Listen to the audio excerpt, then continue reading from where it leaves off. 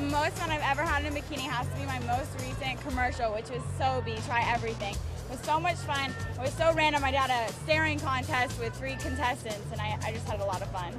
To me, the most beautiful woman in the world is probably Adriana Lima. I love all of her work, and she's so gorgeous. Swimsuit model-wise, I probably do the Dougie the best. But Damaris Lewis can also do the Dougie very, very well. She's actually who taught me.